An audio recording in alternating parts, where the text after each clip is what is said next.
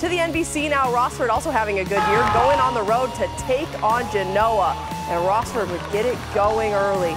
Garrett Murphy lights it up from downtown with that bucket. And then on the next possession, their big man would get involved. 6'9 Derek Force with the slam, an exclamation point from Rossford lead. But Genoa wouldn't go away. John Houston finds the open man. Aiden Hemmer with the soft roll around the rim. He gets it to fall. And with the clock running down in the first half, Huston, deep three just before the buzzer. And then the second quarter, it would be Garrett Murphy for Rossford again. The three, just too much Bulldogs tonight. Rossford beats Genoa 73 45.